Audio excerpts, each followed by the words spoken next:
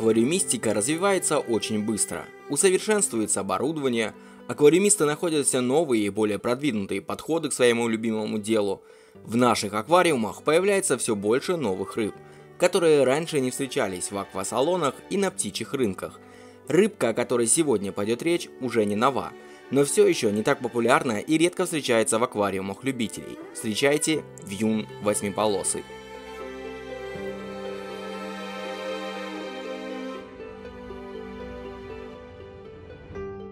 Научное название этой рыбки – Octozona serpenticabitis, иногда называют просто октозона. От латинского «окта» означает 8, а «зона» означает пояс в отношении цветового узора на теле этого вида. Вообще есть три вида этих рыб. Данный восьмиполосый вьюн отличается от своих собратьев рисунком на теле. Естественно, в первую очередь это темные полоски, которых, судя по названию, должно быть 8. Однако встречаются и семиполосые, и эти самые темные полоски гораздо шире, чем у других двух представителей. В живой природе обитают в водоемах Китая и Лаоса. Они являются эндемичным видом для этой области. Стоит заметить важную деталь, которая понадобится для идеальных условий содержания этой рыбы в аквариуме. Здесь, у себя на родине, они встречаются только лишь в реках с быстрым и очень быстрым течением, в скалистых и каменистых грунтах. Естественно, вода здесь прозрачная, по крайней мере, до сезона дождей – а растительность практически отсутствует. Исключением является водорослевое обрастание на камнях. Более того, в реке с быстрым течением нет веток, коряк и всевозможных листьев. Ну и, конечно, исключением является мимо пролетающей и уходящей вдаль случайно попавшая органика. Субстрат состоит из песка и гравия, ну и, конечно, пейзаж из валунов.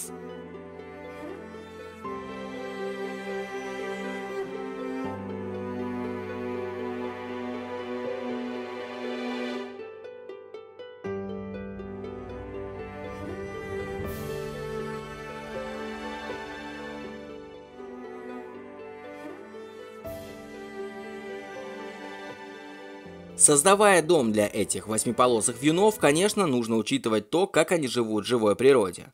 Более того, на мой взгляд, биотопная аквариумистика в этом плане самая правильная.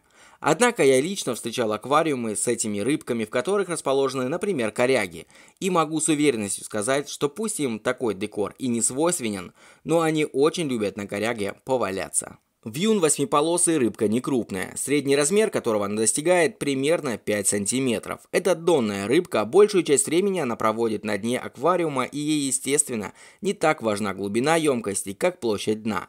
Кстати, оптимальная глубина примерно 25 сантиметров, а объем аквариума 60-80 литров.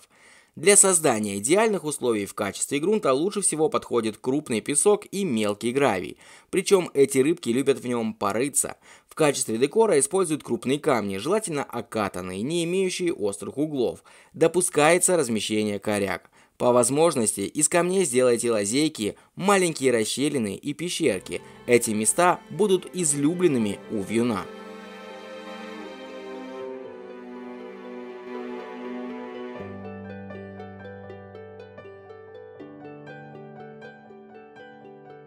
В уходе за этими рыбками не обойтись без тестов для воды. По крайней мере, точно понадобится следить за показателями нитратов. Восьмиполосый вьюн к нитратам очень восприимчив, и если вовремя не увидеть изменения в воде, то можно потерять эту рыбку. Из оборудования нам понадобится яркое освещение. Не бойтесь, если яркий свет будет провоцировать появление водорослей. Они нужны на камнях.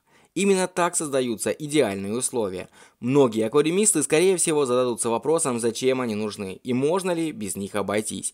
Действительно, в своем хобби мы чаще боремся с водорослями, и это даже вошло в профессиональную привычку.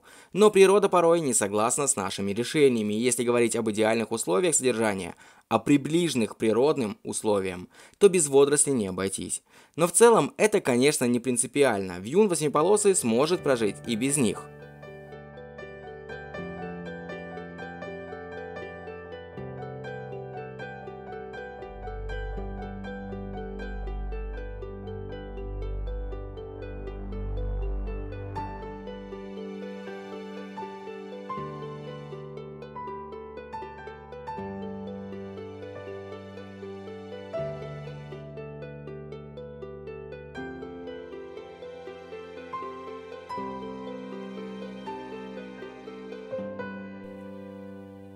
Помимо освещения необходима хорошая фильтрация и в идеале это внешний фильтр. Однако не стоит забывать и о течении – для того, чтобы создать течение в аквариуме, лучше всего установить отдельную помпу.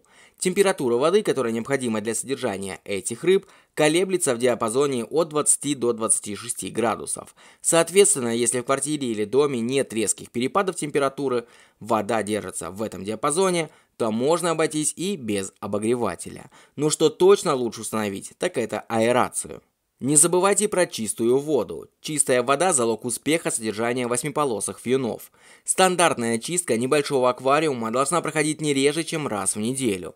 Но даже если вдруг у вас нет времени на чистку аквариума по различным на то причинам, сделайте хотя бы просто подмену воды. Подмена воды должна быть примерно 25% от общего объема аквариума. Приемлемые показатели воды. pH от 6 до 7, GH до 10. В кормлении особо неприхотливы. Пробуют есть все, что падает на дно аквариума. В живой природе обычный рацион состоит из насекомых, ракообразных, мелких червей и другого зоопланктона. Могут полакомиться и растительной пищей, но она не является основой рациона. В домашних условиях содержания неплохо подходит корма для самов. Но как бы там ни было, периодически стоит давать живые или замороженные корма. Это может быть мотыль, трубочник, артемия и так далее.